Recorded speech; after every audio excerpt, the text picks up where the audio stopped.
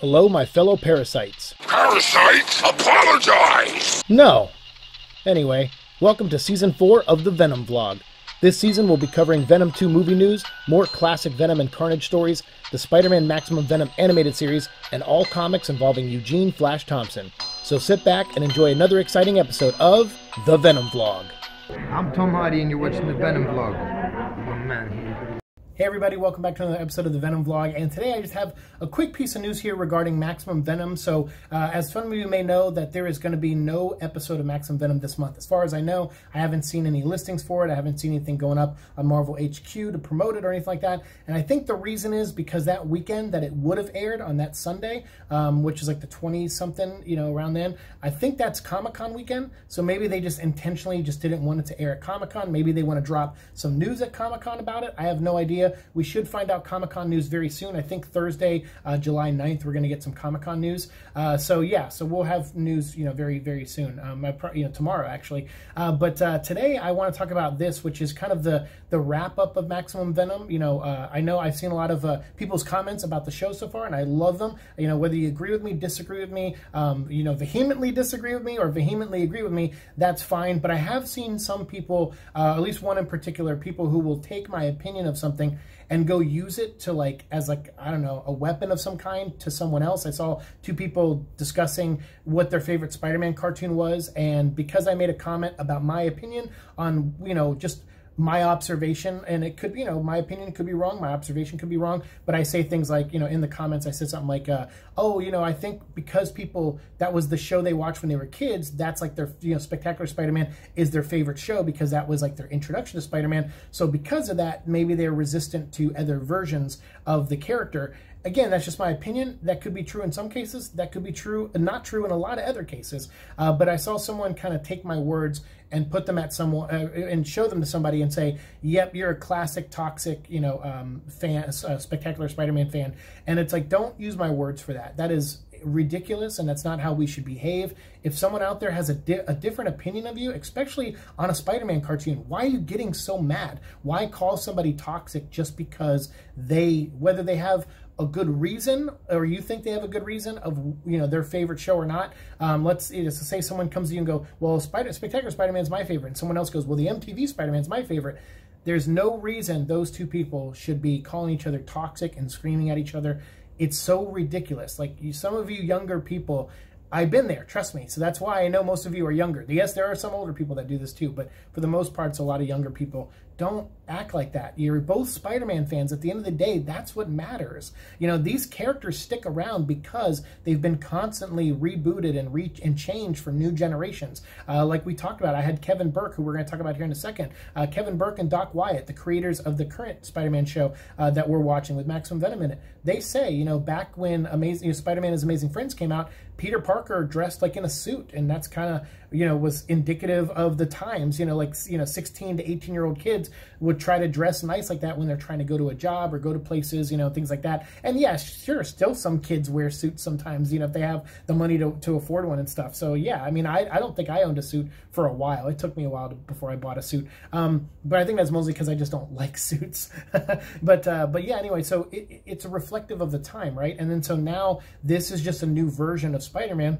And hey, if you don't like it, if you're not a fan of it, you know that's fine but to to you you know use other people's opinions it's like oh that person made a good point let's take their words and use it as you know my attack uh, you know towards this other person that's not cool. You shouldn't do that. You shouldn't use other people's words. Use your own words. Find your own way to say something, and and be respectful. I mean, we're all Spider-Man fans. At the end of the day, because you love one version and I love another version, that's how Spider-Man sticks around for 60 plus years more. Um, and that's just that's how it is. That's how these things work. Uh, and you know, and that's how he'll keep living on uh, long past all of us. You know, so yeah, so just, you know, please don't do that. Just respectfully, just, you know, I, I, I understand people want to get into debates and stuff, and that's fine. Keep it friendly, but to sling names at people and stuff, and, and to use my words when my words weren't, uh, you know, uh, to attack anyone. My words were just my opinion, and I very calmly stated my opinion, and it wasn't to put anyone down out there. So don't use my words to put anyone down. Don't use anyone else's words to put someone down, and try not to use your own words to put someone down, especially if there's someone who is a fan of the same thing you are. You're both Spider-Man fans. You should find ways to, you know, coexist and lift each other up because that's what Spider-Man would do, right? Uh, so anyway, so today we got some news uh, from Kevin Burke, who is one of the people I just talked about a minute ago, one of the co-creators of the show, the new Spider-Man show with Maximum Venom, uh, along with Doc Wyatt, and a, a, list of talented other people that bring the show to life. And he posted today that they are working on the finale. I'll put that picture up here. Um, and they are working on the finale of Spider-Man Maximum Venom. He put hashtag single tier, uh, hashtag wait until you see this. And, uh, you know, I'm excited because I know this guy is a fan. I mean, after talking to him and Doc, they are fans of Spider-Man and they have to approach things differently though than just a fan. You know, when you work in these fields and you work in the entertainment industry, it's it's hard when you're a fan and you have to and you have to be like you know they're creative guys. So it's not like they're business guys. They can still bring in their fandom into their job to an extent. But they also like you heard them say in my interview with them they don't want to just repeat what came before. They're trying new things. And sometimes, you know, those new things you have to, and that's the other thing people forget. When you're working on a show like this, you get notes from everyone. You get notes from Marvel, you get notes from Disney, you get, you know, um, notes from toy making companies, you know, brands, you know, who are trying to, you know, design versions of the character for the, you know, for t-shirts and, and lunch boxes and stuff. And there's a lot that goes into this. So, so, you know, when I see people just get really upset over things, it's like, hey, look, sometimes when you're making shows, you get obstacles and you got to work with those obstacles to still produce the best thing you can produce, you know? And it's like, just understand that this is hard work. And, uh, and so that's what I like is that this is hard work, but these guys still love doing it. And they're sad. Like Kevin is like, yeah, this sucks. Like I've been working on this show, you know, they said in the interview, they worked on this show two years ago is when they started writing the show for Maximum Venom. And it's taken this long for it to air. And we're not even done yet. We still have three more episodes to go. So, uh, so they're, you know, so just imagine being on a journey with Spider-Man for that long. And then also then when they finished the you know writing, they have to go and do other things and then they're probably working on other shows and then you heard them in the interview with me, they're already working on shows that'll come out 2 years from now. And so think about that. Think about how your life is when you are working on some when you're talking about things now that you did 2 years ago, but you can't say anything about the things you're going to do 2 years from now imagine, you know, that's that's a lot to juggle and that's a lot of pressure. And that's why these, you know, TV shows and stuff have collaborations. It's why it's not all just on Kevin Burke to do this or Doc Wyatt to do this. That's why they hire a great crew, a great team, and they do their best. And yes, it's not going to be for everyone, but keep in mind, this is someone's first interpretation of Spider-Man. Uh, and you don't get to pick your first interpretation, and chances are your first interpretation you do fall in love with. My first interpretation of Spider-Man was Spider-Man is Amazing Friends, which, trust me, if some of you guys went out there, if you haven't seen that show, and you watched it, you'd be like, what is this? And it's like, hey man, that's all we had back then. Nowadays, you guys get to fight over which Spider-Man's the best because there's like five or six different Spider-Mans between cartoons and movies and animation and live action, you're so spoiled. you really are. And you and you use that spoiledness to fight like brats. And I'm kind of like, ah, like, no, embrace it, embrace it. Just say, hey, you like that version, cool. I like this version. Let's talk about it, you know? And uh, and I see a lot more of that happening now, where there's like that, you know, back and forth where people are being respectful to each other. And even in this argument I saw earlier, I saw one of the kids, not the one who used my words to attack the other kid, but the, the kid who was being attacked, he was actually really respectful. He goes, you know what, dude? I respect your opinion. Thanks for sharing it. And that was just his way of ending the conversation. And I'm like, that's that's a good person right there. That's a very Peter Parker thing to do. So uh, kudos to that guy. Um, but uh, yeah, just seeing this, I was like, yeah, it's fun to talk about. You know, uh, the you know, the, the, just I wanted to talk about that kind of stuff, like you know, using words and being uh, and being you know really toxic. And when you call someone toxic, it's it's such an oxymoron because like but you're the one being toxic, you know, by saying it. Typically, I mean, sometimes yes, you're calling someone out for their what they're saying, but this person didn't say anything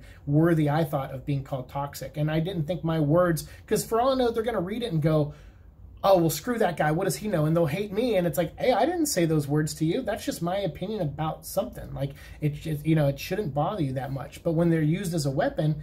It could, you know, it, it hurts. Uh, and so, uh, so yeah, like don't, you know, don't do that. Don't use my words to hurt people. That's not why I say things. I'm not out here to sling, uh, you know, shade or, or, hate at anyone. Yeah, there are some times where I call out um, other media outlets who don't report on something properly, but that's just me trying to make sure that the true information gets out there so fans aren't fighting over nothing, you know, because if you hear from one site that they said this and then I say something different, people are going to fight over that. And it's like, well, we shouldn't be fighting because you know, maybe what I said is untrue. Let me do more research and I'll look at research and I'm like, nope, I, what I said was right. What they said was wrong.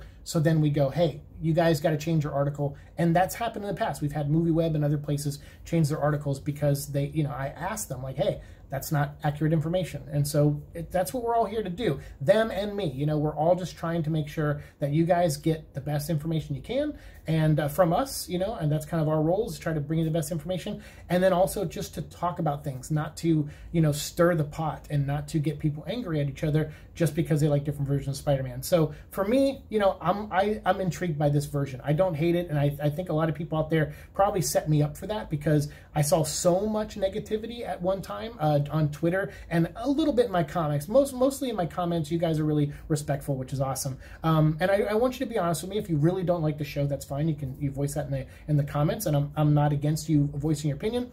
But just use your words carefully. Be constructive if you're going to be negative. Don't just go, "Oh, it's crap," and it's crap. You know, it's like that's not constructive, and that's not uh, that's not the kind of environment I really want to foster here. You know, I kind of like us to have a discourse about things and and share opinions on stuff and be critical and and, and help expand critical minds um, and and just you know awaken that because a lot of us don't. Sometimes we just blindly love stuff and that's not good either you know? So we get so there's there's there's extremes right? Too negative too positive. And we just got to be critical you know? And i think that's what uh, the key to embracing new ideas is. So i've kind of embraced this because a lot of people told me it wasn't good and then when i watched it i was like wow it's totally not as bad as everybody makes it out to be. And i kind of in, endeared by this show a little bit and i kind of like i like seeing miles there i like seeing spider-gwen there. These are newer characters that i've kind of as an older guy have kind of got interested in because i'm like hey these are cool. It's it's neat to see um, these new characters and these new versions of like Gwen Stacy, one of my favorite characters of all time. But to be honest with you, she was a little boring back in the day. Like,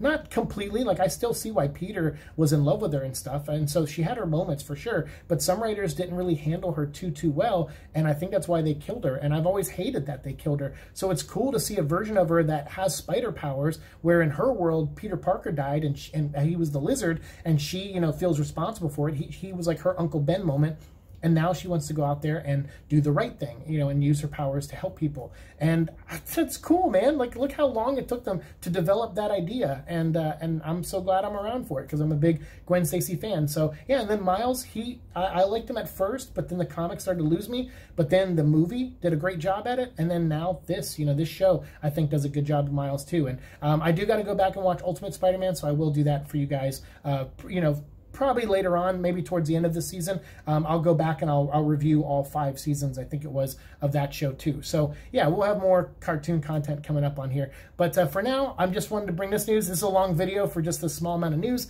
but I wanted to squeeze in other topics and other things too that I want, you know, that wanted to bring up to you guys. But uh, Maximum Venom, they're working on the finale now. Uh, I don't know when the next episode will air, the fourth episode, so keep an eye out and I'll try to talk about it when I find out. And then, you know, hopefully they'll go back on a monthly schedule, episode four, five, and then six. That'll probably bring us up towards the end of the year. And so, yeah, man, that's it. That's it for now. So uh, what do you think of this? They're working on the finale. That's, that's what I mean. They wrote this two years ago, and they're still not done with the final episode that's just amazing to me. It, that's a, that's a lot of hard work uh, across a bunch of groups of people that have different departments and different things that they add to the show. And uh, kudos to them for nearing the finish line. But of course, that doesn't mean their work is done. These guys are now going off onto other projects, which I can't wait to see what those are. And hopefully, they announce those very soon too. So let me know your thoughts down below about everything I said today, and uh, and we'll have our conversation as always down there. Thanks for watching the show. Like, share, subscribe, all that fun stuff, and I'll see you in the future. Peace.